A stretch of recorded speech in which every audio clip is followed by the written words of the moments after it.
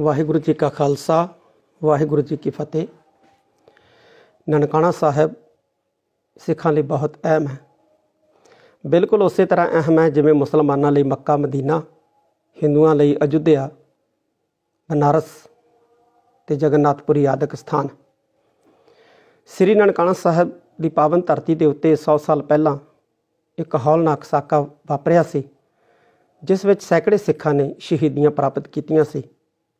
ਤੇ ਇਹਨਾਂ ਸ਼ਹਾਦਤਾਂ ਤੋਂ ਬਾਅਦ ਸਿੱਖਾਂ ਨੇ ਗੁਰਦੁਆਰਾ ਸੁਧਾਰ ਲਹਿਰ ਦੇ ਰਾਹੀਂ ਗੁਰਦੁਆਰੇ ਸਹਿਬਾਨ ਦਾ ਪ੍ਰਬੰਧ ਆਪਣੇ ਹੱਥੀ ਲਿਆ ਸੀ ਜਿਸ ਨੂੰ ਉਸ ਵਕਤ ਦੇ ਹਿੰਦੁਸਤਾਨ ਦੇ ਵੱਡੇ ਨੇਤਾਵਾਂ ਨੇ ਦੇਸ਼ ਦੀ ਆਜ਼ਾਦੀ ਦੀ ਪਹਿਲੀ ਲੜਾਈ ਜਿਹੜੀ ਹੈ ਉਹ ਜਿੱਤ ਲਈ ਇਹ ਕਹਿ ਕੇ ਸਨਮਾਨ ਦਿੱਤਾ ਸੀ ਸਾਰੇ ਸਿੱਖਾਂ ਨੂੰ।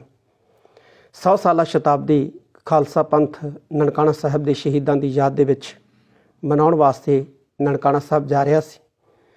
700 ਦੇ ਕਰੀਬ ਜਥੇ ਨੇ ਨਨਕਾਣਾ ਸਾਹਿਬ ਜਾਣਾ ਸੀ, ਜਿਹਦੇ ਵਿੱਚ ਬਹੁਤ ਸਾਰੇ ਸ਼ਰਧਾਲੂ ਸਿੱਖ ਜਿਹੜੇ ਨੇ, ਉਹ ਸ੍ਰੀ ਅੰਮ੍ਰਿਤਸਰ ਸਾਹਿਬ ਦੀ ਪਾਵਨ ਧਰਤੀ ਦੇ ਉੱਤੇ ਪੁੱਜ ਚੁੱਕੇ ਨੇ, ਕਿਉਂਕਿ ਕੱਲ ਜਥੇ ਨੇ ਰਵਾਨਾ ਹੋਣਾ ਸੀ। ਐਨ ਮੌਕੇ ਦੇ ਉੱਤੇ ਭਾਰਤ ਸਰਕਾਰ ਨੇ ਜਥੇ ਨੂੰ ਇਜਾਜ਼ਤ ਨਾ ਦੇ ਕੇ ਬਹੁਤ ਹੀ ਗਲਤ ਕੰਮ ਕੀਤਾ। ਮੈਂ ਸਮਝਦਾ ਕਿ ਕੇਂਦਰ ਸਰਕਾਰ ਦਾ, ਕੇਂਦਰ ਦੀ ਬੀਜੇਪੀ ਸਰਕਾਰ ਦਾ, ਇਹ ਸਿੱਖਾਂ ਦੀ ਆਸਥਾ ਦੇ ਉੱਤੇ ਇੱਕ ਕਿਸਮ ਦਾ ਹਮਲਾ ਹੈ।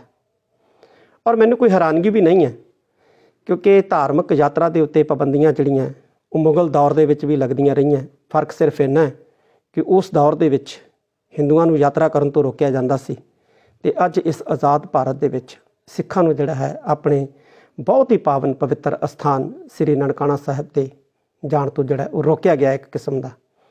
ਔਰ ਬਹਾਨਾ ਵੀ ਜਿਹੜਾ ਹੈ ਉਹ ਬੇਤੁਕਾ ਬਣਾਇਆ ਗਿਆ ਕਿਉਂਕਿ ਨਵੰਬਰ ਦੇ ਵਿੱਚ ਗੁਰੂ ਨਾਨਕ ਸਾਹਿਬ ਜੀ ਦਾ ਪ੍ਰਕਾਸ਼ ਪੁਰਬ ਜਥਾ ਜਿਹੜਾ ਹੈ ਉਹ ਸ੍ਰੀ ਨਨਕਾਣਾ ਸਾਹਿਬ ਦੀ ਪਾਵਨ ਧਰਤੀ ਦੇ ਉੱਤੇ ਮਨਾ ਕੇ ਆਇਆ ਇਸ ਲਈ ਅੱਜ ਦੀ ਜਿਹੜੀ ਭਾਰਤ ਸਰਕਾਰ ਦੀ ਇਹ ਕਾਰਵਾਈ ਹੈ, ਬਹੁਤ ਹੀ ਜ਼ਿਆਦਾ ਨਿੰਦਨਯੋਗ ਹੈ।